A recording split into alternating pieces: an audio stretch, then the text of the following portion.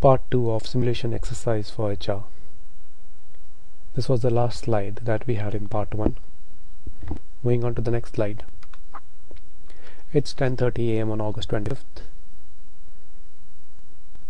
During the detailed damage assessment of the building, one body was discovered. It was of an employee who was supposed to be on leave. He was on his way to airport and he had stopped by to pick up something that he had left in the office. This employee had not signed the in-out register for after hours. As a result, no one noticed his absence or were aware of his presence. Questions for HR. What is the policy with regard to informing the next of kin of the death of an employee while on the premises?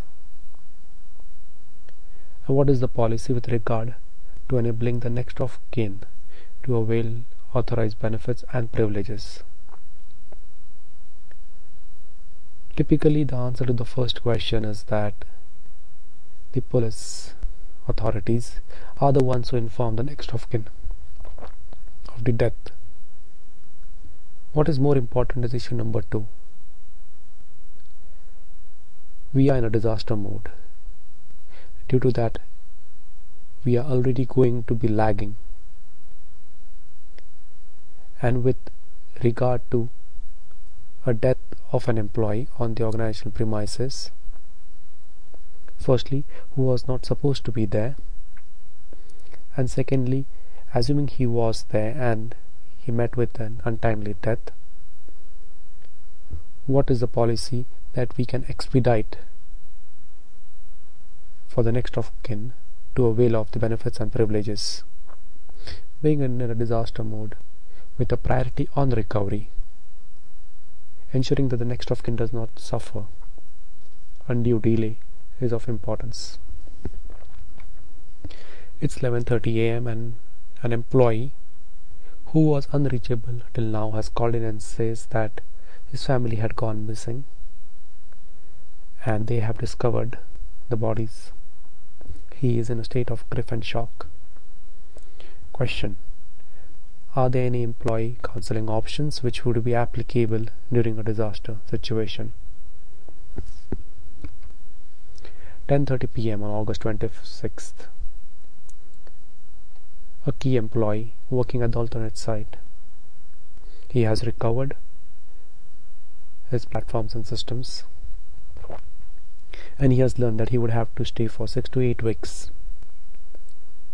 But he has to take care of his old parents and pets. He states that he would not be able to operate for 6 weeks away from his family. Questions This employee is adamant that he would like to resign we need to replace him as it is a critical skill and resource if we were to go through the normal procedure for recruitment it would take time. Is there any procedure to expedite the process of recruitment?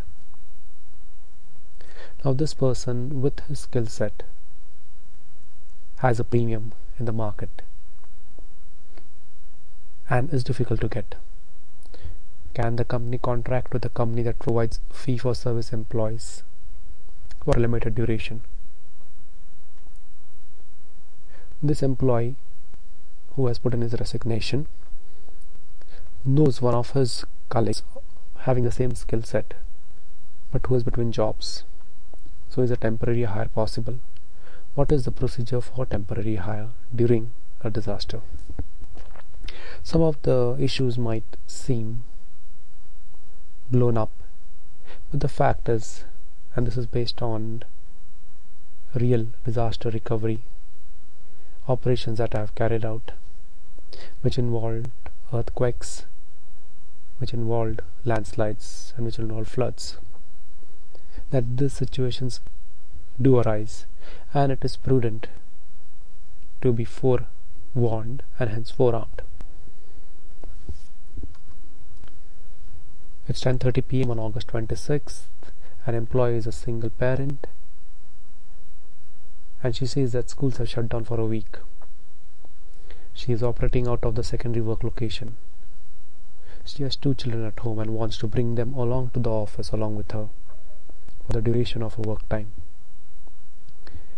issue are there any procedures to address such deviations it may happen that during the normal operations children may not be welcome except on some particular days but in a disaster mode given the context what are the policies and procedures in place? It's 10:30 a.m. on August 27th and some of the employees are still unreachable. Timesheets are due and these employees did work for the few days before the disaster hit. So what is the action plan for such cases assuming it's a disaster mode and these employees would need the money. What can be done so that these employees are not inconvenienced? It's 8:30 am on August 29th a backlog has been created on account of the delay in the recovery on account of the transactions that were conducted using the manual workarounds on account of the data that was lost since the last backup. Question Can HR hire additional workers to clear the backlog and how will they be paid? This again comes back to employees on a contract for a very limited duration. In this case, we are assuming it's a data entry job, which a person with normal skill sets of data entry could perform.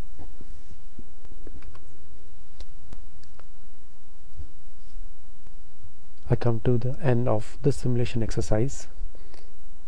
We run the simulation exercises for the various departments. We start off with HR, finance, procurement, legal, insurance, and then all the various units.